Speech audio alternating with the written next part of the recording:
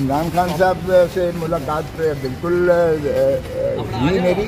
और ज़ाहिर है कि आ, मैं बात और वकील गया था ना मैं कोई बतौर रिश्तेदार गया था ना मैं पार्टी मैन के तौर पे कोई पार्टी के अमूर डिस्कस करने गया था।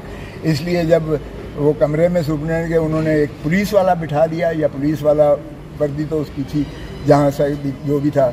बाहर के वो बैठा मैंने कहा कि ये कौन है? हुआ यू कहता, सर, मेरी ड्यूटी है। मैंने कहा, तुम्हारी ड्यूटी है।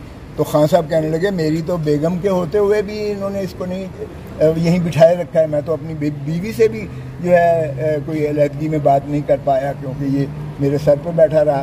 तो मैंने कहा, भाई साहब, उठो उठो आप।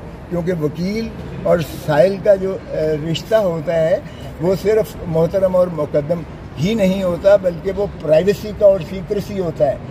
मेरे साथ जो साहिल बात करेगा या साहिल के साथ जो मैं बात करूँगा बतौर वकील के वो जिस तरह आप अपने किसी चीज़ की जो है आ, आ, आप पर बंदिश है जिस तरह डॉक्टर और मरीज़ के रिश्ते के दरमियान बातचीत होना की बंदिश है कि वो ना कोई पूछ सकता है ना वो खुद डिस्क्लोज कर सकता है किसी को डिस्क्लोज कर सकता है। तो ये तो प्राइवेसी के रिश्ते में मैंने कहा तुम अगर बैठते हो तो मैं जा रहा हूँ मैंने बात ही नहीं करनी है और मैं जाके सुप्रीम कोर्ट और हाई कोर्ट में कह दूँगा कि अगर ये मुलाकात इस तरह से करनी है कि फरिश्ते ने ऊपर सर के ऊपर सवार होकर बैठना है तो मैं तो जा रहा हूँ मैं मुलाकात नहीं कर बुलाओ मैंने कहा सुप्रिंटेंडेंट को तुम्हारे सुप्रिंटेंडेंट साहब आगे मैंने कहा भाई साहब ये नहीं बैठेगा।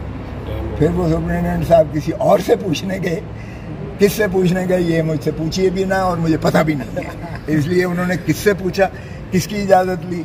फिर आया उसने सलूट मारा और कहा, खोसा प्लीज़ मुख्तसर को ज़रा बात करें आधे घंटे के लिए। तो फिर उसको उठाया और मैंने कहा, गड़ा, ये पहले बाहर तशरीफ़ ले जाए, फिर मैं खान से बात करूँगा। तो उसके बाद हमारी बातें हुई हैं। बाकी वो, माशाल्लाह हाई स्पिरिट्स में है। इसमें कोई शक नहीं है कि डाउन हुए हुए हैं, ज़ाहिर है। अठारह दिन से तो पंद्रह दिन से तो जेल में मौजूद थे। और फिजिकली हुए साइकोलॉजिकली नहीं नहीं नहीं साइकोलॉजिकली बहुत स्ट्रांग है। अभी भी वो सारों के बराबर जो है इनका सर लेगा आप फ़िक्र न करो। और जहाँ तक ताल्लुक है वो उसको सिर्फ़ अपनी नहीं है परवाह बिल्कुल। उसको अवाम और पाकिस्तान की उसको अच्छा, यही है।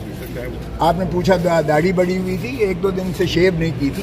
बाकी उनका जो है वॉशरूम उनका खुला है अल्लाह के फजल से। और ये शर्म की बात है कि आप जो है उसको नहाने के लिए भी आपने पिक्चर बनानी होती है और कुछ और जो है अगर वो इनखला कर के लिए जाते हैं तो भी वो ओपन है और वहाँ कैमरा लगा हुआ है। ये शर्मनाक है। वहाँ कोई बी क्लास है नहीं बेटर क्लास है नहीं उस जेल में। सो उनको जो एक तंग छोटे कमरे में रखा गया है हाल उनका वही अच्छा, है।